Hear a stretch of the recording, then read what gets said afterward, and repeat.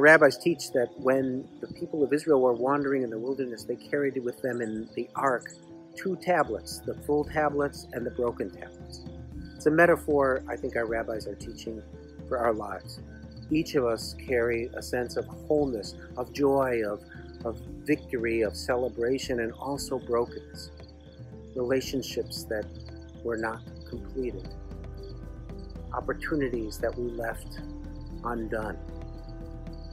Today, as we look at this sculpture that reminds us of the brokenness of our people and the wholeness that was restored in the lifetime of some who are listening, and certainly of many in this congregation. We are reminded that Medor Lador from generation to generation, our people took these holy days as an opportunity to be honest about the brokenness and the wrong within themselves, to look at what's fractured and wrong in society, and to recognize that when we do a tikkun hanefesh, a repair of ourselves, we find the capacity and the ability to do a tikkun olam, a repair of the world. Now more than ever, we are being tested, each of us, like Abraham and Isaac.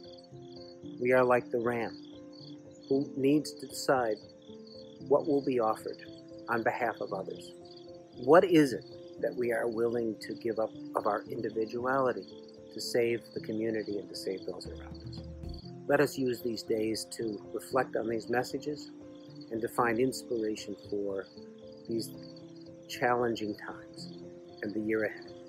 As we live with tikva, we live with hope for better days.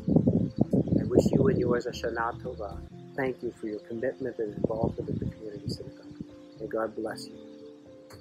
Melev Lelev from heart to heart. Shana Tova.